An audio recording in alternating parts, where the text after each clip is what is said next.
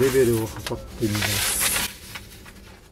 でこの池を作る場所の水平を確認しているところです。ね赤い線が260こ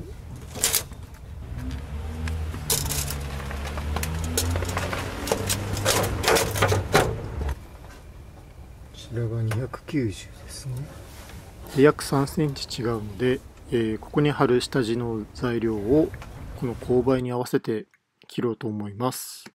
これによって壁の天場のレベルを、え、揃えようとしているところです。こんな数値ですね、えー、それではまず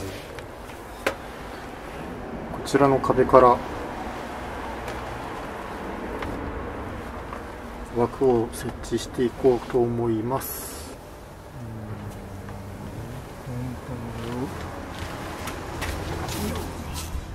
でこちらはコンパネです、えー、まあ、ベニヤ板といいますか、まあ、木材ですね、えー、これを切ったものをこちらに取り付けます。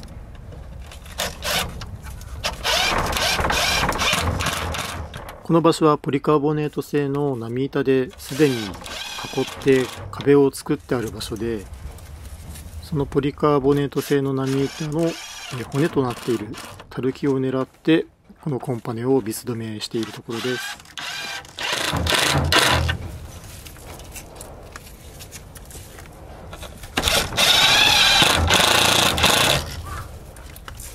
はい、こんな感じで止めていって、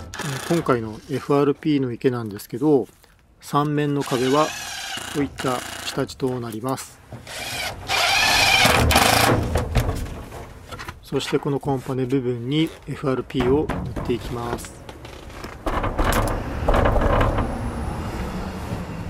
しっかり止まりました。続きましてこの場所です、えー、この何もない場所ですね。こちらはもうゼロから壁を作らないといけないのでえー、まあ、どうやってね、作ろうか、まあ、考えたんですけど、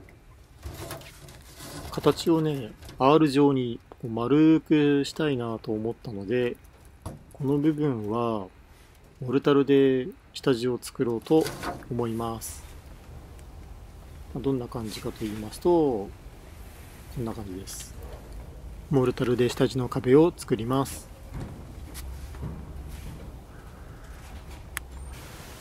えー、それから排水口はこちらです、えー、FRP 用の排水口、まあ、それに塩ビ管を使って、まあ、自分で自作しようかと思いますちょっとねあえて、えー、塩ビ管を中に入れて、まあ、長い部分はサンダでカットをしてちょっと早送りでまあこんな感じでですね、えー、簡単に切れるので、えー、ま、ちょっと削って、で、この中にですね、塩ビ管を入れました。普通はね、逆なんですけどね、ちょっと形状的にこんな形で今回はやってみます。で、まあこういった、えー、形で仕上がりました。まあ、このレバーで排水されるという感じですね。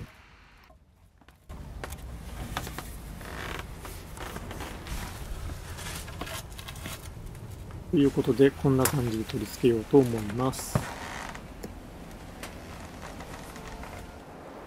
はい、ということで、現在、下地がこんな感じで作っています。まあ、ここの排水口の辺りはブロックを積んでですね、えー、スリーブを入れてまあ、排水できるようにしますでこちら側はもうコンクリートを打って壁を作ろうと思うんですけど、まあ、ちょっとねここはなんか R にしてみようかなということでこんな感じで型枠をこっちの外側はですねこれあのポリカの波板で枠を組みました。なんでこういう波型の壁になるかなと。で、えー、内側はですねちょっとまだね一回壁を作ってから型枠を外してからまたモルタルを、え、上の方を仕上げていく形にします。で通常モルタルの中には鉄筋を入れてですね、えー、補強するんですけど、まあ、今回はこの程度の規模なので、えー、ちょうどねこんなフラットバーがあったので曲げてこれを入れて骨にしようと思います。穴を開けてこの辺にビス止めして設置しました、まあ、これで一つ、まあ、主筋というか、まあ、フラットバーですけどではモルタルを練ります、えー、普通セメント1に対して砂3なんですけどまずはセメント1砂1にしてえー、水をガンガン入れて、こんなドロッドロのペースト状にします。ま、これによってね、底の方の混ざらない砂とかセメントがなくなるので、その後に残りの砂を入れていって、まあ、また混ぜて、えー、仕上げていきます。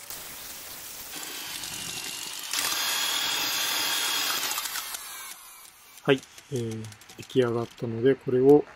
入れていきます。軽く水で濡らして、はい、えー、入れていきます。ね、あの住宅の基礎をね作るときはですねこんな型枠じゃなくてもっとちゃんとやるんですけど、まあ、今回はですね、まあ、この程度の部分だったので、えー、まあ、こんなねこんな簡単な方法でもできちゃうよというね、まあ、そんなような動画になっております。えー、砂1袋分のモルタルで、まあ、この R の部分ができるぐらい、え、高さ2 0センチぐらいの R の壁ができるぐらいの量ですね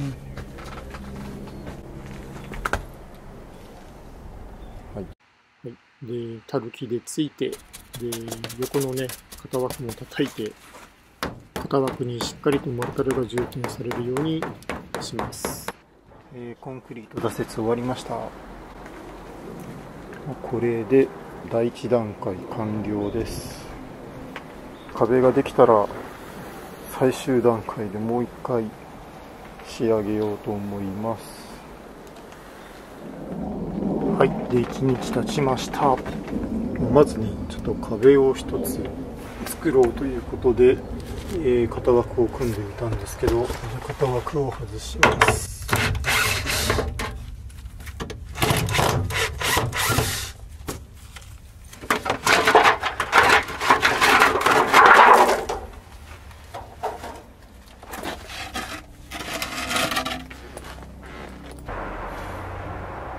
はいでですねまあこれで第1段階ですね。で次にこの高さぐらいまでですね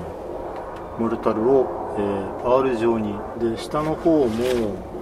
まあ、FRP こういう直角が良くないということで、まあ、これからねモルタルで最後仕上げようと思います。で一緒にこちらの方もですね壁にしていこうと思います。はいということで今回の作業はここまで。え次回はですね池の下地を完成させていよいよ FRP の作業に取り掛かります。草亀たちは池ができるのを冬眠しながら待ってます。それではまた。バイバイ。